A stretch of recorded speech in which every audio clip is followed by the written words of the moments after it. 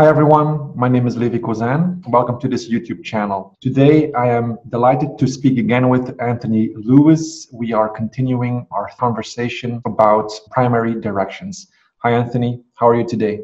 Okay, good morning. Well, these are the questions. Uh, so, this is our third discussion of primary directions, and I was hoping today to look at a couple more charts, but first review some of the concepts. And we want to keep this to about an hour, so I may go a little rapidly, but the uh, the slides will be here that people can refer to, and if need be, can listen again because it's not always obvious on the first uh, exposure. Uh, but we begin by talking about the rotation of the Earth, and as we all know, the ro- Earth rotates on its axis from west to east, so that the sky appears to rise in the east and set in the west. And this is called the primary motion of the Earth or of the heavens, because the heavens appear to rise in the east, culminate at the midheaven, and set in the west as the earth rotates once a day on its axis. Mm-hmm. And so when we talk about primary motion, this is what we're re- referring to. And as the planets or points of the chart are carried by the rotation of the earth to the locations of other planets or points in the natal chart, those are called the primary directions. Mm-hmm. Okay. This is a more complicated image of the same thing. We work with three main circles the horizon, which is uh, depends on where we are on Earth, it's our personal horizon. The ecliptic, which is the path of the sun, and all the planets travel fairly close to the ecliptic. And then the equator, which is the main measuring device we use for time, because it's in the center of the Earth and has a uniform motion. So if we know how far we've moved along the equator, we know how many minutes or hours we've been traveling. Where would you draw the prime vertical here? Maybe it's good for. Yeah, it's actually it is here. It's a circle that goes uh, through uh, the top of the head. This is the person that's the top of his head, through his zenith. Down here, directly below his feet, would be his nadir. To uh, mm-hmm if he were facing south to his left would be due east, which is here, and to his right would be due west.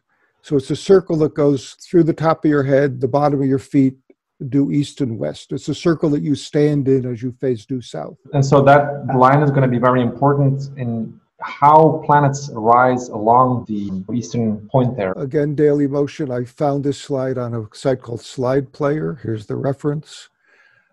Uh, again, to point out, as the Earth rotates from west to east, the sky appears to rotate from east to west. And we mm-hmm. call that the primary motion of the heavens. Okay? Mm-hmm. At the equator, everything rises and sets at 90 degrees to the horizon. Uh, again, this is by way of review because we've covered this in previous discussions. Yes. So the Earth rotates west to east, the primary motion and gives rise to primary directions because the sky appears to rotate from east to west. And as mm-hmm. points in the sky match up to where points are in the natal chart, we say a primary direction occurs. Mm-hmm. And Ptolemy made the assumption or equation that each degree of motion along the equator sh- should be symbolically equivalent to one year in the life of the person and I'll talk a little more about that. I'm not 100% clear why he did that, but I, I have a theory about his reasoning. Mm-hmm. And there mm-hmm. may be some experts who really know why he thought it. Um, I think it helps. This is an analogy.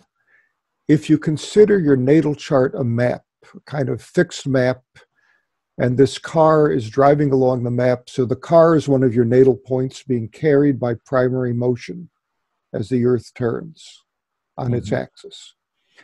Then let's let's just say this blue pin is the ascendant, this is the midheaven, this yellow pin is maybe the sun in your chart. Mm-hmm. Well, whatever this car is, maybe it's Mars, and maybe at birth Mars is right near the ascendant. But as the Earth turns after birth, the sky will carry the position of Mars up toward the midheaven and at some point, the position of Mars will correspond to the position of the sun in the birth chart. Mm-hmm. And the, the reference scheme here is always the the MC and the ascendant, the horizon and the midheaven give you a frame of reference. Mm-hmm. So when Mars gets carried by the rotation of the Earth to the same point the sun was at in your birth chart, we say that Mars conjoins the sun by primary direction. Mm-hmm. And we could time that because we'd find out how long it took uh, the sky to move across the midheaven. Say it took an hour, and every four minutes is a year. So at age 15, you'd have a Mars Sun conjunction by primary direction, and maybe you'd uh, win some sporting event. Okay. Mm-hmm. Okay. But I think this is a good analogy because the map is fixed, it's your birth chart, it doesn't move. And the, the points or parts of your chart that don't move are called the significators. Mm-hmm. And the parts that are in your imagination carried by the rotation of the Earth to these fixed points uh, are called the promissors. Yes. So Mars in this chart promises something when he reaches the sun, which is fixed, and Mars gets carried that by the there by the rotation of the Earth. Mm-hmm. So the map is the significator, and the moving planet or point is the promissor. So this is a really good analogy to keep in mind. Uh, we talked about converse primary directions. Going back here, converse simply means it's also possible to imagine that what normally would be the promissor, the car here, could be kept st- still, and you could move the map beneath it. Yes. In that case, since the primary motion is always in this direction from the ascendant toward the midheaven, the ascendant would appear to move up and join the car at some point in your life. Mm-hmm. That would be called a converse direction because you're taking the map and moving it under the car, which is sort of the converse of the normal way you think about things. Okay. So the direct direction would be car going to the sun. The converse would be a point down here like the ascendant. Uh, as you turn the whole map and keep the car still moving up and conjoining the car. What would be the difference? Astrologers observe that if you're studying, say, the planet Mars here, my red car, something usually occurs in the life when Mars gets carried to the sun by primary motion. It's going in this direction, right? It's going up. But sometimes something occurs of the nature of Mars joining the ascendant. Well, if Mars can only go in this direction, up, how is it going to join the ascendant, which is behind it? And the way, mathematical way around that is say, well, let's imagine for a minute we can hold Mars still and just move the ascendant up toward Mars. Normally, the ascendant is fixed, it stays still. But we're going to say, let's move the map, the fixed map, toward the car instead of letting the car drive across the fixed map. Mm-hmm. So here, the ascendant moves to Mars, and we'd say that's a converse Mars conjoins the ascendant. Yes. Mm-hmm. Okay. It's really a matter of semantics, but the the point is directions can occur in either primary directions can occur with the points of either ahead of the car or behind the car. Sure. So maybe when the ascendant gets to the car, your parents buy you a new car, you're a teenager. Mm-hmm. And you, then you take your car, you hit the sun, have an accident. Directing through the bounds. This is a busy slide. I'll just explain it. Um, the idea here is that after birth, the whole chart is appearing appearing to rotate like a clock so that all the points below the ascendant slowly rise toward the ascendant. And each sign is divided into five, what we call terms or bounds. Mm-hmm. So that at certain points of life, certain planets will be governing the bounds or the terms of the signs on the ascendant, and those planets will become very important time lords or the dasha lords in the Vedic system. Yes. Okay. I'm not going to read this. I'll leave people can read it on their own because we want to get through everything in an hour. Sure. Uh, Curtis Manwaring has a nice site. He he wrote the um, Delphic Oracle so- software, And he has some very good explanations of how the math is done. And again, I'm not going to belabor it, people can read it. But he says there's no question about how to direct to the ascendant or midheaven because they're they're fixed points on the ecliptic and you can just let planets rise till they conjoin the horizon or the midheaven and you know where they are the mm-hmm. problem occurs what happens with two points in between like the car and the sun were not the, the ascendant or midheaven and there's different ways of deciding when the car will actually reach the sun. It's a coordinate system. You know, it's like the discussion you and I had about planetary war in Vedic astrology. Yeah. On the ecliptic, yes. two planets may be very close in the same uh-huh. degree. Yes. But if you look at them in the prime vertical, they may be several degrees apart. Yes. So it's really the frame of reference. They right. may look like they're in planetary war on the ecliptic, but on the prime vertical, they may be quite spread apart and not be conflicting at all. The issue really is how do you do the math? Planets are in three dimensional space.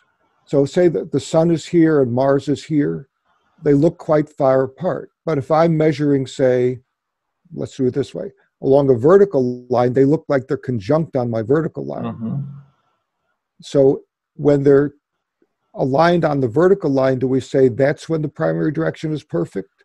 Or yeah. say they're in this direction, maybe there's a skewed line that goes through both of them. Well, maybe that's when they can join because we're trying to measure three dimensional space with a two dimensional plane. The one that works best in practice, giving the most concrete result or most accurate result, rather. The two most common forms are the Ptolemaic semi-arc, proportional semi-arc, and then in the Middle Ages, Renaissance period, Regiomontanus directions were the rage, and people use them with good results, and they often have give results that are a year or two apart. Mm-hmm. You know, it's one of the mysteries of astrology. Like the technique you're using tends to work in the period or for the astrologer who's using it, but not for somebody else. mm-hmm. It's one of the crazy things about astrology. Here's one of the examples I wanted to go to. Uh, Donald Trump won the 2016 election in the United States. Uh, which very few people expected, uh, including most astrologers thought he would not. Mm-hmm. But if we look at his primary directions, and I used to calculate this, I used a site.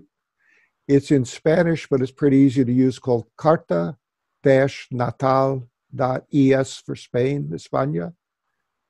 And it will calculate, if you put in a natal chart and a date in history, it will calculate the primary directions for that date using what's called the Naibod rate, which I'll discuss later. Ptolemy said each degree moving past the midheaven is a year of life. Astrologers began to notice that Ptolemy's rate, one degree for a year of life, uh, tended to pinpoint events much before they occurred, months, sometimes months before they occurred. So Naibod reasoned that we have to correct Ptolemy's rate a little bit and he equated one rotation of the Earth in sidereal time to a year of life. On this site, they calculated that on the date of the election, Trump's ascendant had moved to 24 degrees Libra, 50 minutes essentially. In the center is Trump's natal chart. And then on the outside are the directed positions. And so here, this red line here is the directed ascendant. It had moved to 24 Libra.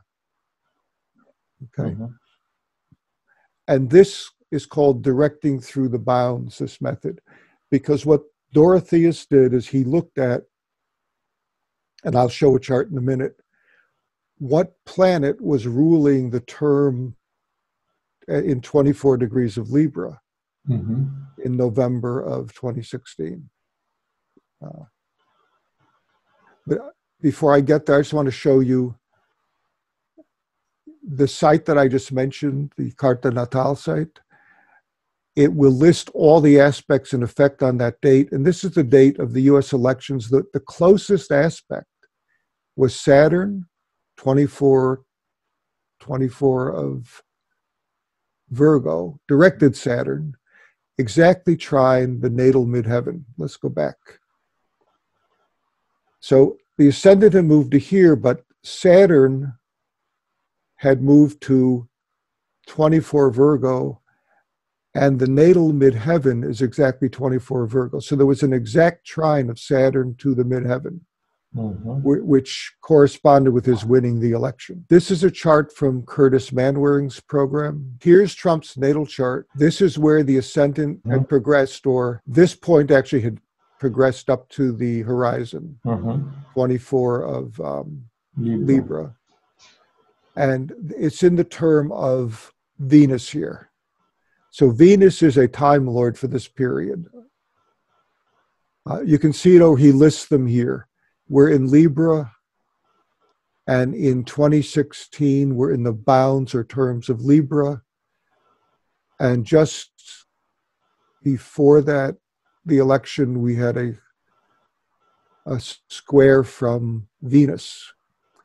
Uh, Venus here is 25, it squares down here at 25. Mm-hmm. If you take into the account the latitude of Venus, the square actually occurs before the election. So he has a nice aspect from Venus, uh, aspecting the bounds of Venus, which is in the ascendant at the time, the directed ascendant at the time of the election. And Venus happens to rule his the tenth sign from the ascendant. Yes. Mm-hmm. It has a significance in whole signs of his career. Sure. Uh, this is what his birth chart looks like in the sky. I think it's always helpful to look at these kinds of maps. Mm-hmm. The blue line is the equator. The green line is the prime vertical. So somebody standing here, their, their zenith would be here, nadir would be down here, east point over here, west point over mm-hmm. here. They'd be facing south. The ecliptic would be here. Uh, and so when he's born, the star Regulus, which is a royal star of kings, had mm-hmm. just risen, and so had Mars. So this is a kind of a royal birth of a Mars-like person. Mm-hmm. Um, okay. All right. Uh, this I put this here just to show the idea of the ascensional times. Each sign of the zodiac has a different length of time it takes to rise. Mm-hmm. And these are measured in the number of degrees that pass the midheaven while the sign is rising. So, Aries, for instance, takes about 18 degrees crossing the midheaven to rise. Mm-hmm. Trump has the end of Leo rising. So, basically, during the first period of his life, Virgo is rising. That takes about 38 degrees on the midheaven or 38 years. And that's followed by Libra, which also takes about 38 degrees or 38 years. These are called signs of long ascension because they take a long time to rise. So he won the election at age 70, so he's in this Libra period. And we saw that prior to that, he was in the Venus bound or term of this Libra period. Mm-hmm. Okay, so Libra really governs uh, this whole second part of his life. And when he's in the Venus bound of Libra, that's highly significant because it also rules the sign. Mm-hmm. And it's receiving a aspect from Venus as well. And right. Venus rules his 10th mm-hmm. 10th yes. uh, whole sign. So you would expect a major career event during this Venus. And a square would be a, a manifesting aspect. Right. Mm-hmm. Right. Okay. And if we, and that's the square is from the zodiacal degree of Venus, mm-hmm. but Venus has a latitude. So if we measure the square from the latitude, it actually is about 24 degrees instead of 25. Mm-hmm. And that's exactly on almost exactly on the directed ascendant. So Venus is highly, highly uh, activated during this period right. at age 70. This is just saying the same thing in table form. These are the districts with latitude. So I included the latitude of the planet, and you can see here November of 2016 falls in this period. He's in the Venus bound and had just received the square from Venus. Yes. Mm-hmm. Okay. He, he went to his Mars bound in 2019 And I think that has characterized his presidency a lot. He's fighting with a lot of people. it's a very Martian period he's going through. Mm-hmm. Um, this is his chart again, I think showing a little more clearly the bounds. Here's the bound he's in. At age 70, he's right here. Venus has squared it. And this is his ascendant is right here. Uh, he also happens to be in the decan of Jupiter. The Greeks also used individual degrees. Each individual degree is associated with a planet. And the planet ruling his directed ascendant at the time of the election was Saturn. So Saturn becomes very important during that year. This is just to remind me to mention we're using the sexagesimal space 60 system, which is very helpful in astrology. The math the zodiac we're using is a mathematical model, it's not the constellations. And this is to talk to the issue of single degrees. So the circle consists of 360 degrees. And each degree of the circle is considered an individual part. Just as the signs or boundaries in the zodiac, the individual degrees are kind of the smallest regions that have boundaries that are assigned to planets in the Hellenistic system. Mm-hmm. And so there was a method of assigning planets to the degrees. Uh, there were a couple of methods, but the more popular one was, I think, used by Vettius Valens and Paulus of Alexandria.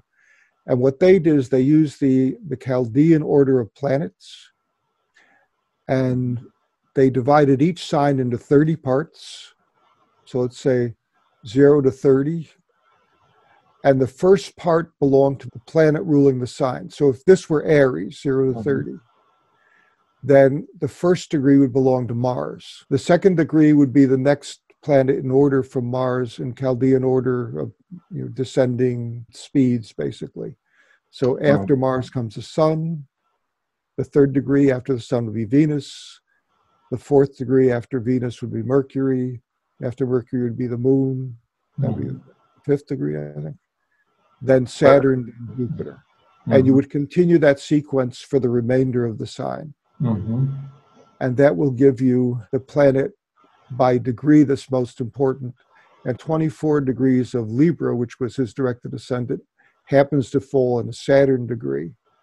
So you'd want to study Saturn in the directed chart, and Saturn is exactly trine his natal midheaven, which I thought was significant. And also, wasn't Saturn also conjuncting Venus there? Or? I think it was, yeah. So I think this had a lot to do with why Ptolemy equated a single degree with a year of life, because a single degree was the smallest whole part of a, of a circle.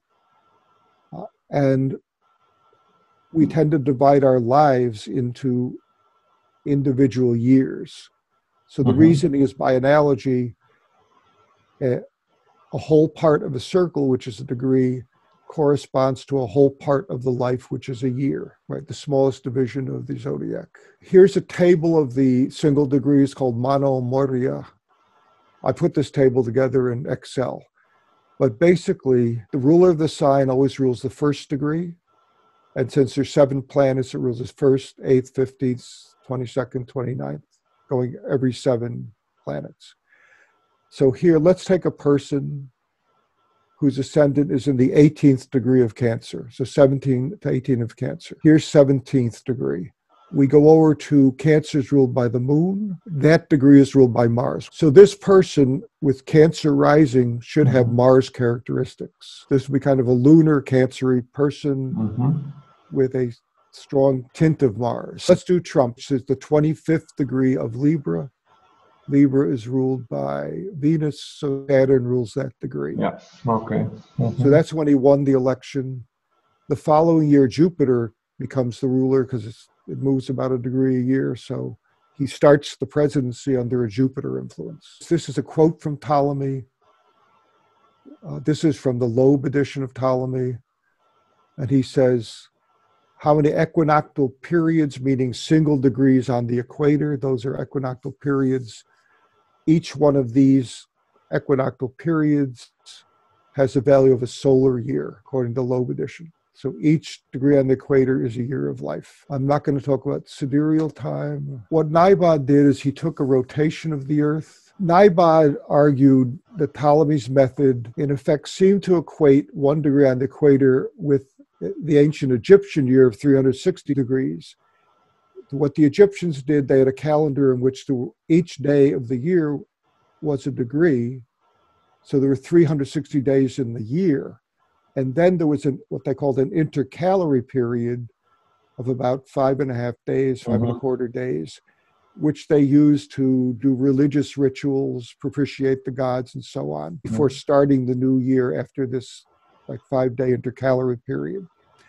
So Naibod and astrologers at this time were noticing that the Ptolemy rate was coming up, timing things too early. And so Naibod said, We have to fix this. Here's my reasoning. Let's take the 360 degrees in a circle and divide it by the number of days in a year, 365.24. Mm-hmm. And that gives me 0.9854, et cetera, uh, degrees per rotation of the Earth, basically, mm-hmm. which is 59 minutes, 8.33 seconds. Mm-hmm. So let's let that rate be one year of life. So not yes. every one minute, once one degree on the equator is a year of life, but every 59 minutes and 8.33 seconds is a year of life. And by shortening the amount of time that crosses the equator, you're projecting the events for more forward into the future, right? Because you're dividing by a smaller number when you do it. Mm-hmm. And basically, it turns out when you do the math, roughly every 3.93 minutes, let's say 3.932 minutes of time corresponds to a year of life, as opposed to every four minutes corresponding to a year of life. Four minutes would be the Ptolemy rate, closer to the Ptolemy rate. 3.932 is more the Naibod rate. It's very little difference in time, but if you project it over the lifetime, it really changes the dates of things by months. Ptolemy's idea of primary directions, this is the semi-arc method. This is a direct quote from the Loeb edition. A place is similar and the same. So when are two planets in the same place? That's the question he's answering. A place is similar and the same if it has the same position in the same direction with reference to the horizon and meridian. So, what he's saying here is our reference system is always the local meridian and horizon. They're sort of an XY axis. Uh-huh. And so, when the uh, image we saw before, we saw the sun was maybe up in the 11th house near the midheaven. That was the yellow tack. And uh-huh. the car was maybe halfway up between the ascendant and midheaven. Mm-hmm. When the car gets to the same position with reference to the horizon, the meridian, we'll say it conjoins the sun. That's Ptolemy's method. And this is the method that was popularized by Placidus. Regiomontanus had a different method. This is an image. I don't know the source of this. I found this years ago, many years ago on the internet, and I neglected to write down the source. If somebody knows, I wish they'd tell me. But this is a good example. Uh, this blue line here uh, is the path of Jupiter. And it's about midway between the ascendant and the midheaven. Mm-hmm.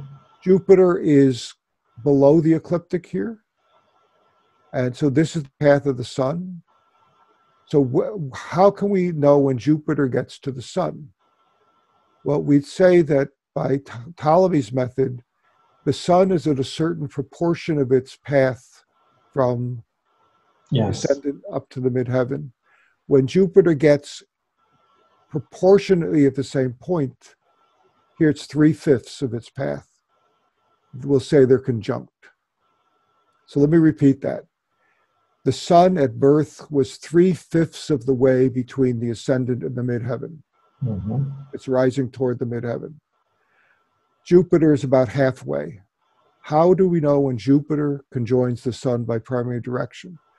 Ptolemy said, well, when Jupiter gets three fifths of the way along its path, it's in a corresponding position to where the sun is at birth, three fifths of the way along its path. And we will call that a conjunction. And that's this proportional semi arc method. Bruce Lee. I think people know who Bruce Lee is. He's a martial artist who died suddenly. This is his birth chart. He was born in San Francisco, November 1940 in the morning. This is in the tropical zodiac. He had six of Sag rising. So if we look here, this is the meridian at his birthplace. The blue line is the equator, and the yellow line is the ecliptic. And so he's born at seven in the morning. You can see the sun is just rising, about to rise. Mm-hmm. And he has these planets that have risen uh, toward his midheaven, which is right here. His moon and Mercury are in the 11th house. Okay. This is Bruce Lee again, born around sunrise. Here's the ecliptic. Uh, his ascendant, if we project it by a vertical line to the equator, we get the right ascension of the ascendant. That's his mm-hmm. equatorial position. But the oblique ascension is the point on the equator that's rising at the same time as the ascendant is. So we have to go along here to where the horizon hits the equator, mm-hmm. and that's the oblique ascension. We measure directions to the midheaven by the right ascension on the equator. And directions to the ascendant by the oblique ascension. When will they be at the same point on the horizon? We call this difference the ascensional difference. Sometimes you see that in equations. If you people who want to get into the equations, how to calculate this, the sine of the ascensional difference is the tangent of the geographic latitude of the person times the tangent of the declination. And if, if you know this formula, you can calculate these values. It's a very useful formula. So uh, this was Bruce Lee's birth chart in a standard round form. I'm using the tropical zodiac. Mm-hmm. His moon is at 11 Scorpio. It rules his eighth cusp, which has to do with his longevity, his and death. Mm-hmm. Uh, and it conjoins Mars at four degrees, and it is opposite Saturn. Okay. Uh, the reason I'm focusing on Mars and Saturn is I'm going to look at the primary directions for when he died. Yes. And so for that, I'm going to look at malefics that affect the moon. Mm-hmm. Because the moon is the eighth house ruler. And Saturn and Mars often have to do with death. Well, you would also look at his ascendant, right? His ascendant lord. And the ascendant, yeah. Saturn also happens to be in the sixth whole sign, and Mars rules the um, and occupies the twelfth whole sign. Yes, and Jupiter and the moon, there as well. The eighth sign. So you'd think that mm-hmm. an aspect involving Moon, Mars, and Saturn connecting the sixth, eighth, and twelfth house yes. lords mm-hmm. would would be kind of ominous in his life. The ascendant, as you pointed out, is a six of Sag, and it is in ecliptic about 24 degrees from the moon. Okay. So if we just mm-hmm. measured along the ecliptic from the ascendant to the moon, we'd get 24 degrees. Yes. If we measured from the ascendant up to the opposition of Saturn, Saturn's where what do we say Saturn is? I don't think I wrote the degree of Saturn down. Well, it would be around the same point, right? Right. We get 26 degrees, a couple degrees later. Mm-hmm.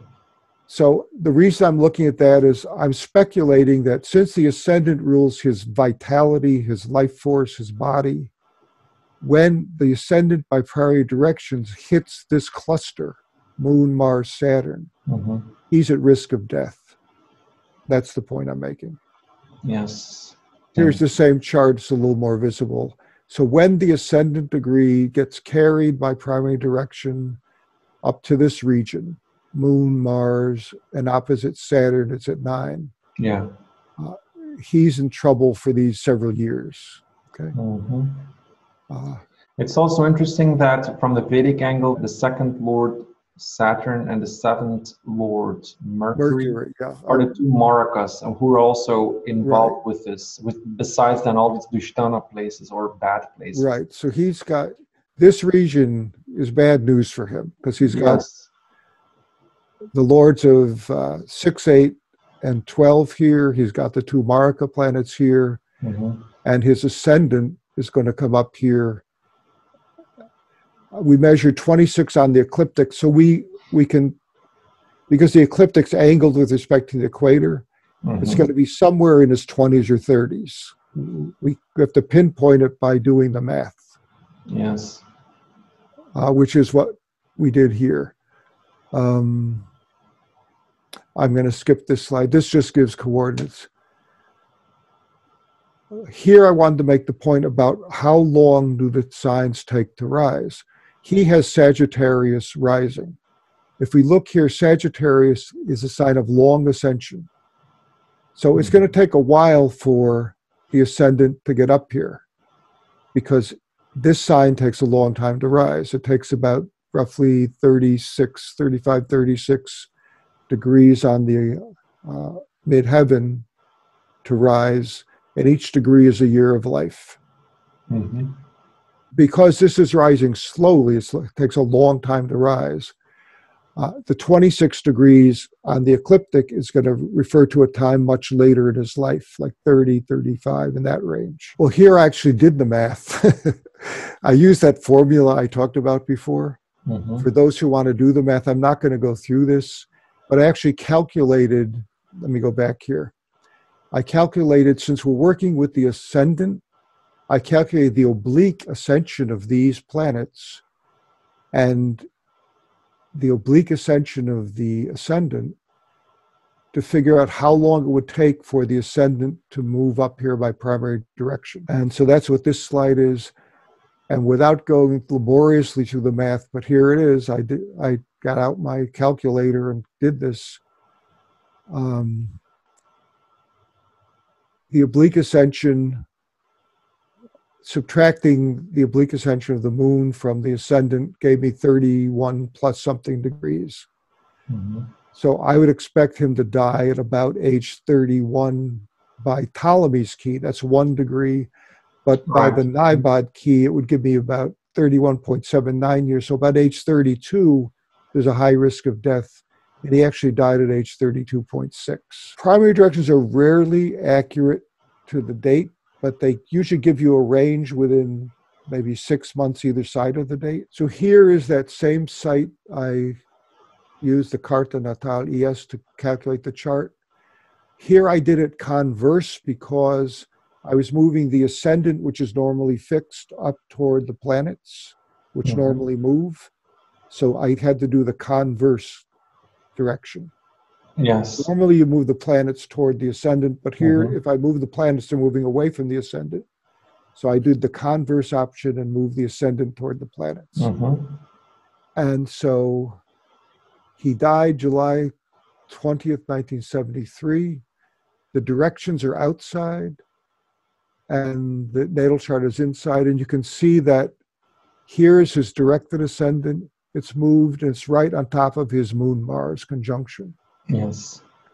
Uh, you know, within a very small orb, and he died within months of the date this was exact. Mm-hmm. Um, yeah, well, it's a very volatile region there. I'm from looking yeah. at from all angles actually. Right, but if you look at this ascendant, it's really activating Moon, Mars, uh, Saturn, Mercury, and Saturn, yeah, and probably Jupiter. Yeah, sure. And Jupiter rules his ascendant as well. Yes. Mm-hmm. So he died right on time according to his primary directions. Yeah. And you know, we're assuming that the the time of the chart is seven twelve, I think. So it it's to and that's from the birth certificate. So it's possible he was born at 711, 713, within that range. Mm-hmm. And it's quite possible if we adjusted uh, the birth time by a little bit, maybe half a minute, that this would turn to be 32.6. You know. Yeah. Mm-hmm. Which is very possible if a person, especially in those days. Well, each degree is a year of life, so 31.8 to 32.6 is maybe three minutes of time on. So if his birth time were not exact, if we're three minutes off, then this direction would be exact. Mm-hmm. Interesting. Oh, here again, this is the same site. His directed ascendant had gone to 10 of Scorpio 17. Let's go back. And Saturn was at 9, I think, of, um, so it's about a degree off. Oh, I have the natal positions. So his directed ascendant on the day he died was at 10 of Scorpio 17. Mhm. That matches the natal moon was at 1123, so it's about a degree off. Mercury's 15, that's pretty far off. Uh, Saturn is at 929, that's pretty close. That's 10, close. 17, 929. Mhm. Um, and the these are the closest aspects at the time of death. Yeah, Sun opposite Saturn. Actually, that's almost exact, isn't it? The directed Sun is at 916 and Opposing Saturn is at Saturn. 929. Yeah. So, and the. Sun is also a symbol of your vitality. Sure. And the ascendant is opposite, uh, but the closest is the Sun opposite Saturn. Mhm. and that's just what about fif- 14 13 degrees of arc 13 degrees minutes of arc difference let's go back to the chart by converse direction the sun which is almost on his ascendant who's born at nearly sunrise has moved to we said 916 and it opposes saturn at 924 Yes, and Saturn is a maraka. if we had adjusted the birth time slightly the sun might have been exactly opposite saturn Mhm. the directed sun might have been exactly opposite Saturn at the time of death. So you you would consider this as a rectification tool? Uh, people use it for rectification. Mhm. Um, I'm a little skeptical because most of the time the directions are usually within months to not to the day. Yeah, exactly. I think the people who use it with directions tend to use it more to house cusps hmm Yeah. so that when a significant planet by direction comes to a natal house cusp, Mhm. Uh, that's a much more precise measurement. I view it more as a dasha system. This is a period when the sun opposite Saturn is prominent in his life. And since the sun spans about 34 minutes of arc in the sky, it's going to take about um, two minutes pass over the midheaven, the sun itself. Each degree is a year of life. So the body of the sun corresponds to about six months of life. Ptolemy's rule is each degree crossing the midheaven is a year of life, and each degree takes about four minutes to cross the midheaven. The body of the sun would sit on the midheaven for two full minutes, Yes. which corresponds to little over six months of life. So when the sun is opposing Saturn, that we're talking about a six month period where that's an exact opposition. yes. hmm because the body of the sun is opposing the body of Saturn exactly for six months. And so he died within that six month period. The- Right. The body of the sun is actually opposite the body of Saturn at the moment he died because the difference was what, 14 minutes of arc. 14 minutes of arc is a quarter of a degree. That's what it. What I was saying. it's a three-month- quarter of a it's degree. a Yes. three month period. Yes. Yes. hmm Right. Sure. It's clear. But the sun is threatening death here for a six month period. Mhm. So he died in the middle of it. I see the primary directions as covering a period of life. So you can progress any point, any important point, any planet, any cusp, any important line. The inner chart is a natal chart, and the outer chart is the converse direction. So we're just taking the natal chart and letting the whole thing rotate like a clock around the inner chart. So his ascendant has tick, tick, tick, tick, tick up here. At age 32, it's moved up to here. Mhm. But as it did that, the moon, which was here, has moved up to here. Mercury, which was here, has moved up to here. So it's actually very similar to a Varsha also to a solar return. And look at Yeah. the natal chart connected to these transiting points. It's similar, yeah, it's similar. It's similar. in thinking. Um, you can also look at combinations between these transiting points to the natal positions and then derive meaning from that, which works really well. Right, and the idea is the inner chart, the the natal chart, is the potential at birth, what could happen, what might have, what is possible. The outer chart, as it ticks, trigger the natal potentials. So he had a natal potential to die at this time because of this confluence of six, eight, 12 rulers with the Amarakas, with uh, the ascendant ruler, all getting activated in this period. So, in and, fact, all these points, all these progress progressions are all part of the natal chart. That's what we're. You're taking the natal chart and rotating around the outside of the wheel. Yeah. Right, because that's the same thing in Varshafal. We have the natal chart, and then it's like it looks like a very static thing. It's this blueprint, and yeah. right, but actually, it's all the solar returns, all these points, all these transits are all part of that. It's all the natal chart, right? Right, but except these aren't transits; these are directions. These are directions, but yeah. they serve the same purpose, I would say. It's a similar interpretive principle. See, the sun and the ascendant; these are points. They're promisors. They promise vitality and health and the state of the body. But when the things that promise the state of his body get to the significators of death in his chart, the state of his body meets up with the significators of death and he dies. Yeah, it's also the dispositor of the sun, which is always important, like the ruler of anything is important, mm-hmm.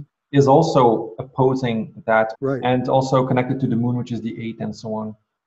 And opposing, of course. Um, yeah, so he has an amazing confluence of planets that indicate ill health and death that get triggered by the sun and the ascendant being directed to this part of his chart. Thank you, Anthony, for this extensive elaboration on planet directions and giving us also the foundation of it. I think um, it's very interesting. And um, yeah, I think after these three videos, people will have a good um, basic understanding and then they can look some further if they're interested in uh, yeah. And I do recommend the interview Ashwin did with Martin Gansten. It's an excellent interview, and it really explains a lot of the background theory as well. Right. Yeah. Okay. Cool. Thank you, and I'll talk to you.